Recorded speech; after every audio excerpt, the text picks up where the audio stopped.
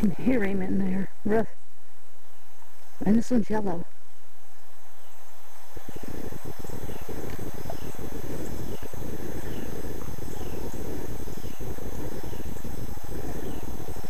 At least three here right now.